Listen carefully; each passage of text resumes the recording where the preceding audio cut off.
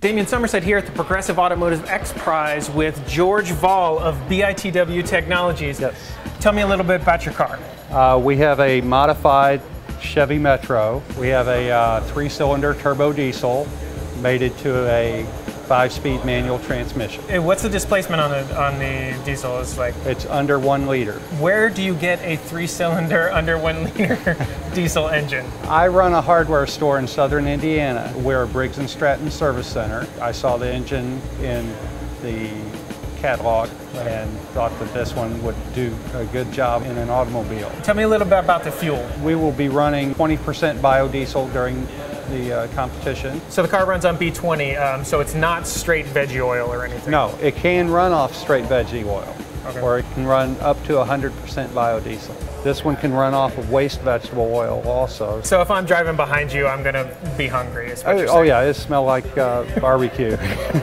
uh, modifications that we've made are just some simple aerodynamic modifications. We do have lighter weight wheels, harder rubber tires. Hey, Tell me about this thing back here. Am I, am I, am I gonna impale myself on No, this thing? What's, No, what's going hopefully on? not.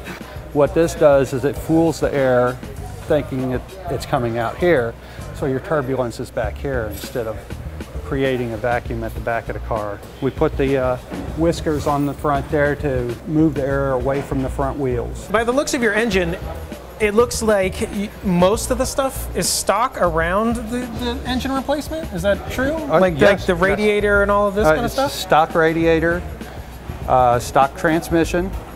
The only thing that we've changed is one motor mount and an adapter plate from the engine to the transmission. Is weight a concern in the car? Um, do you, did you do a lot to get the weight down, or is it uh, basically weigh the same? It weighs about 50 pounds less. Oh, okay. That's not much less. Right. Did you ever think about replacing the radiator and these kinds of things to be lighter, or We wanted to try to keep it as simple as possible without having to Swiss cheese the car or custom build pieces of the car to Right. lighten it up. We're trying to make the car look as normal as a regular car. Uh, the only thing that we've done to it is basically engine swap, some aerodynamic modifications, but I drive this car every day. oh, so this, Uh, we've this, logged about 17,000 miles on it. It- so this is your daily driver. Yes.